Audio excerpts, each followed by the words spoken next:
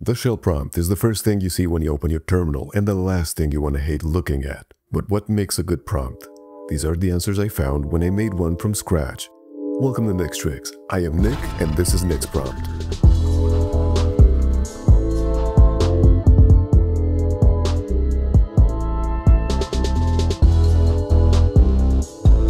How's it going guys? I am psyched to show you this thing, so I'm just gonna jump in and talk about what it actually is, why it is this way, and what it's like to use across multiple machines.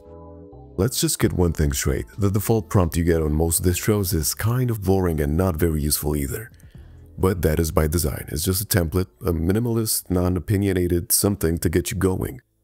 For as long as I can remember, my custom prompt was nothing more than a single line that mostly kept the same format and just added some accent color and Git integration. Fast forward to a time when tools like OMZ, Oh My Posh, or Starship really took this prompting thing to the next level. I don't know about you, but every time I tried out one of these, I was put off by the ungodly amount of presets, themes, and configuration options. What I needed was something so simple that it didn't justify the amount of research, cleanup work, and fine-tuning that I was already putting in.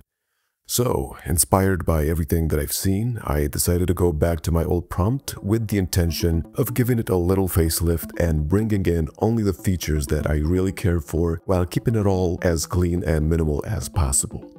And that is what Nix prompt is, a clean modular prompt for Bash with what I consider to be just the right amount of features, designed to be easy to read and even easier to tweak. I didn't really plan on releasing this on Christmas, but well, such is the timing, so I left it under the tree for you. The link is in the description if you want to check it out. Feel free to fork it and change it to fit your style. I hope you'll find all the details you need over on GitHub. Now let me walk you through some of the features and let's see this thing in action. Something I mentioned on the page is modular segments. By segments, I mean all of these parts that make up the prompt.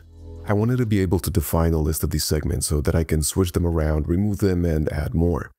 The first one is the identity segment, which I wanted to be more contextually aware. For example, the equivalent in the default Debian prompt will show the username and hostname at all times, which to me only makes sense for remote connections. That's why the identity segment here will only show that over SSH. If this is a local session, I don't even want to see my username, so only the hostname will be displayed. I also use another variation of this where it displays the current time instead. In that case, I can just remove the following segment here, the timestamp, which is now redundant. The next segment is for the current path, but with a cool twist because it uses the directory trim prompt variable to collapse long paths and only display a certain number of trailing components. Then there's the Git integration, which uses the git ps1 function from the git prompt script if it's available so that it can draw a badge that displays the current branch if we're in a git repo. A few more notable things here about the segment, unless this is an SSH session, the identity badge will also display the name of the project. I've also enabled a couple of Git options to display indicators for dirty state and untracked files. Also, both the identity badge and the Git badge will persist if you change into subdirectories, which I find helpful. And of course, the last segment is just a little arrow symbol uh, that gets displayed on the next line to sort of signal that that's where the input goes. The actual prompt symbols, a dollar sign for regular users and a pound sign for root, are on the identity badge. There are two additional icons, a network thingy for SSH connections and a circled X that shows up if the exit status of the previous command was not zero. I refer to these icons as glyphs inside a script because ideally they come from a patched nerd font.